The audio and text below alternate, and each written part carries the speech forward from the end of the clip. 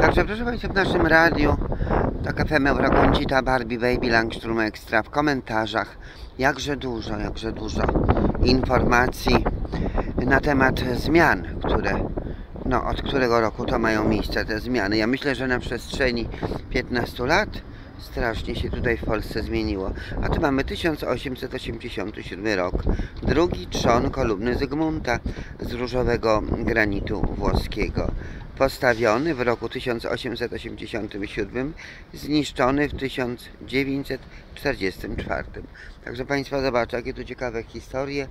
No i dużo mamy mm, gości z zagranicy. Z Andrzejkiem rozmawiałyśmy, dlaczego tak dużo jest Hiszpanów w ogóle tutaj, gdy jesteśmy na Mazowszu, nad Wisłą, w Warszawie, pomiędzy Bugiem i Odrą Gdańskim i Czechosłowacją. Proszę Państwa, też są obcokrajowcy różni i ta święta Anna, Państwo zobaczą, święta Anna, no i że ta kolumna Zygmunta, ludzie mają troszeczkę trawki, myślą, że wolno, opalają się trochę polskim rakotwórczym słońcem. Już kościółki widzimy, linia mysia i rzeczywiście dużo się tu zmieniło przy odsłanianiu pomników. Ja myślę, że bo ludzie nie lubią, nie?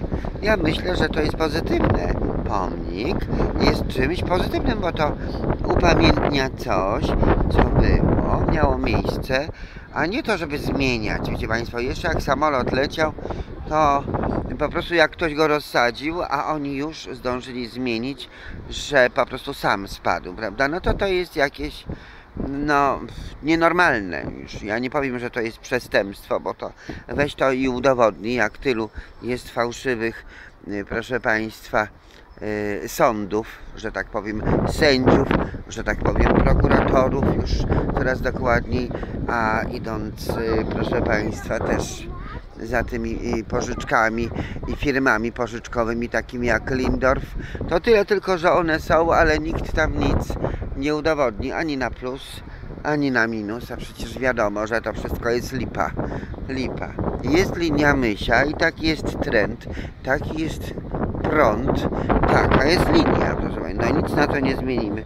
Do więzienia nikt Państwa za to nie wsadzi ale chyba, żeby to były takie czysto polityczne sprawy. Ale ponieważ jedni pod drugich się podszywają teraz, zwłaszcza jak Państwo niech zwrócą uwagę na te firmy windykacyjne, jak one się podszywają pod siebie, że ludzie nawet filmy nagrywają takie troszeczkę według mnie śmieszne, bo jeżeli coś tam babka pyskata gada gada wyspecjalizowana w lichwie, a facet coś tam się jąka, ale on ją olewa, nie mówi wyraźnie, nie mówi jakoś tak zgrabnie, że tak powiem politycznie poprawnie, standardowo, no to ci ludzie no może nie wygrywają, ale ja wiem, mydło i powidło dalsze robią. Rozmydlają sprawy. Natomiast rzeczywiście firmy te e, różne windykacyjne są niepotrzebne i tylko robią, proszę Państwa, e, większe zło, bo przecież ci nie pomogą, a, a takie zastraszanie, ośmieszanie itp.